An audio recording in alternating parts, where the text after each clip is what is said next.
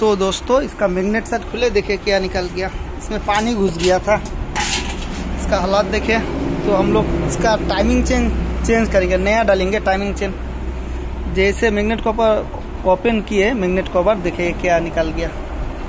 पानी घुस गया था इसलिए। तो फटाफट से हम लोग मैग्नेट ओपन करते हैं अरे साहब अच्छा से पेट्रोल वेट्रोल से वॉश करके लगाना पड़ेगा, ठीक है ना? तो पानी किधर से घुसेगा? इधर से घुसने का खतरा है, साइड। तो हम लोग कृषि बंद से अच्छा से बंद कर देंगे। बहुत सारा इसमें है देखे दही जैसा हो गया देखे का ये होने का कारण मोबाइल में जब पानी घुस जाता है, दोस्तों, तभी ऐसा होता है।